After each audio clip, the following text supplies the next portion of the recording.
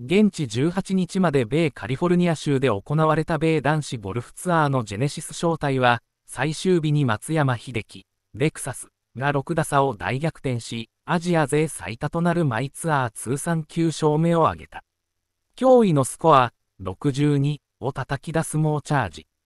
見守った観客の大興奮の行動には実況席も納得の様子で、映像を見た海外ファンからも魔法のようだった、すごい、といった反響が寄せられている。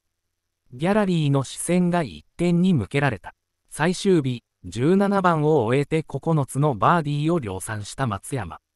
一気にトップに立って迎えた最終18番パー4でも、長いバーディーパットを迎えた。入れればコース記録。パターを構えると、見守ったギャラリーは一斉にスマホのレンズを松山に向けた。米実況席からも、歴史を記録するには良い時だ、と声が漏れたほどの異様な光景。パットは惜しくも右にはぐれたが、パーパットを決めると観客は拍手喝采。まだ後ろに2組残っていたが、もう松山の優勝が決まったかのような歓声が上がっていた。プガツアー公式インスタグラムは、秀樹の歴史的な62のハイライト。と綴って動画を公開。海外ファンからは、信じられない、完璧だ、すごい、すごい。